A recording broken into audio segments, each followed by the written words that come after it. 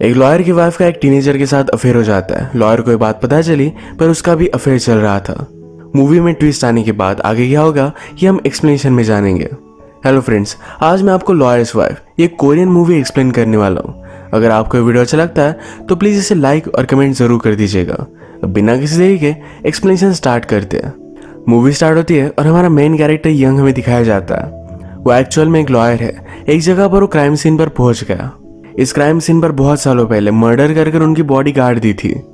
Young के client के father की बॉडी भी इसमें थी। क्लाइंट इस सबसे बहुत ही डिस्टर्ब हो गया और पुलिस से वो झगड़ा कर देता है। इस झगड़े को सॉल्व करते हुए यंग इस गड्ढे में गिर जाता है। इसके बाद उसकी वाइफ जिसका नाम है यून ये हमसे इंट्रोड्यूस होती है। ये बाइक राइड कर रही थी और उसके पीछे एक टीनेजर उसका पीछा कर रहा था। अचानक से वो रास्ते से गिर जाती है। ये टीनेजर ने नोटिस किया और वहाँ से चला गया। आज उसकी मदर इन लॉ उसके बेटे का ख्याल रख रही थी। जब उन्होंने मदर इन लॉ को घर पर छोड़ा तो उसका बेटा उससे पूछता है क्या ग्रैंड माँ को पता है कि मैं अडोप्टेड हूँ? ग्रैंड माँ को ऑफकोर्स पता था। यून कहती है, तुम्हें कोई भी एम्बेरस होने की ज़रूरत नहीं है। तुम मेरे बेटे हो और इस बात से प्राउड रहो। इसके बाद रात में यंग यून के जगह पर किसी और लड़की के पास आया। वो फिर घर पर आता है शॉर वगैरह लेता है। घर पर हम देखते हैं कि उसके बेटे के साथ उसकी बॉन्डिंग बहुत अच्छी है। आज रात ये तीनों साथ ही सो गए। यंग यून से कहता है, कल मेरे फादर मेंटल हॉस्पिटल से निकलने वाले हैं। प्लीज़ उन्हें पिकअप कर लेना। यून ने कल अपने फादर इन लॉ को पिकअप किया। फादर इन लॉ कहते हैं, घर जाने से पहले क्यों ना हम बियर ले?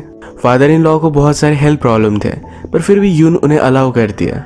इसके बाद यून को हम काम पर देखते हैं। उसका एक स्टूडियो है, जहाँ पर वो लड़कियों को डांसिंग सिखाती है। मूवी के फ़र्स्ट में हमने जिस टीनेजर को उसका पीछा करते हुए देखा था, वही टीनेजर उसके पास आया। वो भी डांसिंग सीखना चाहता था।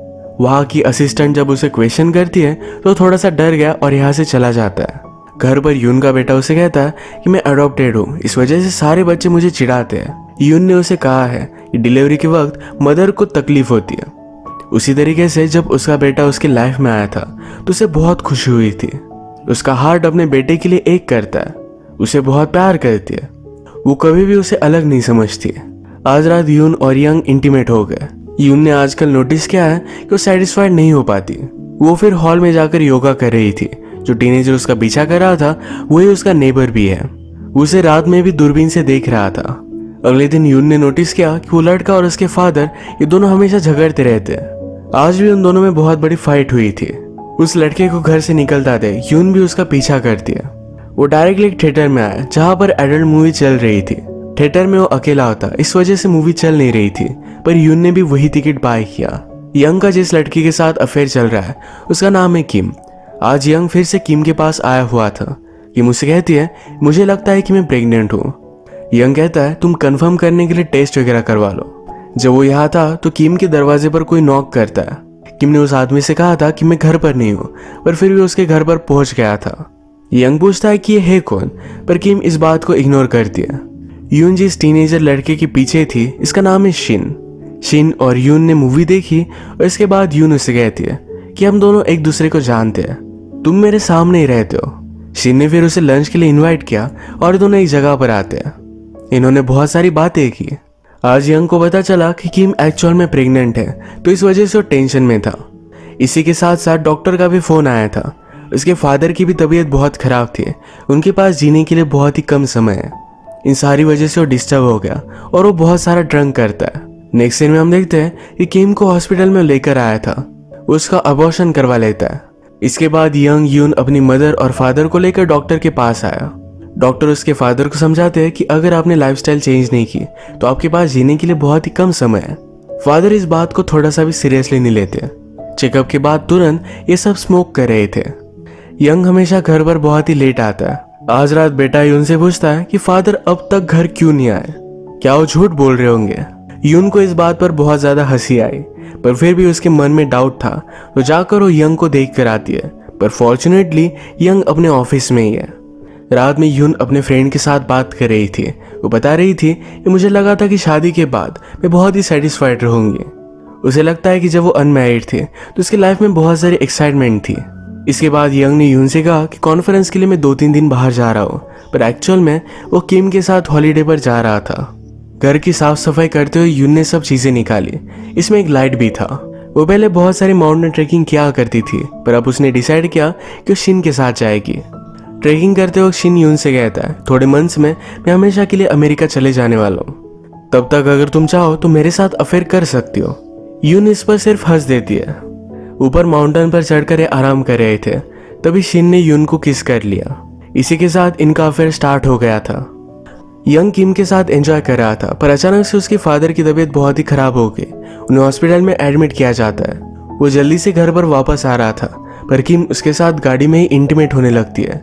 इसी के पैरेलल में हम देखते हैं, एक डिलीवरी मैन अपने फ्रेंड्स के साथ बहुत ज़्यादा ड्रंक हो गया। अब रात हो चुकी थी और ये दोनों एक दूसरे के आमने सामने आए। यंग ने उस आदमी को टकरा दिया। उसे बहुत ज़्यादा चोट आ गई थी। वो जल्दी से उसे अपनी गाड़ी में डालता है और हॉस्पिटल में छोड़ दिया। किम को घर छोड़ने के बाद वो अपने फादर के पास हॉस्पिटल में आया। उसके फादर खून की उल्टिया कर रहे थे। इस सब बातों से वो डिस्टर्ब हो गया था। यून उसके पास आकर उसे सहारा देती है। सारी चीज़ों को उसने आज बहुत ही अच्छे से हैंडल किया था। कुछ ही दिनों में यंग के फादर की डेथ हो गई। वो अपने फादर का सब सामान वगैरह देख रहा था। अपनी फैमिली के साथ टाइम स्पेंड कर रहा था। उसकी मदर ने कहा, ये लाइफ में फ़र्स्ट बार मैं सही तरीके से फ्री हूँ। फादर तो ऑलरेडी मेंटल हॉस्पिटल में थे तो मदर ने उनके लिए वेट नहीं किया था। उसको ऑलरेडी किसी और के साथ अफेयर चल रहा है। वो उसके साथ खुश है और उसी के साथ रहना चाहती है। जब यंग और यून एक साथ अकेले थे तो यंग उसे कहता है, तुमने सब कुछ चीज़ें बहुत ही अच्छे से हैंडल की। मुझे बहुत अच्छा लगा। वो उसके लिए बहुत थैंकफुल था।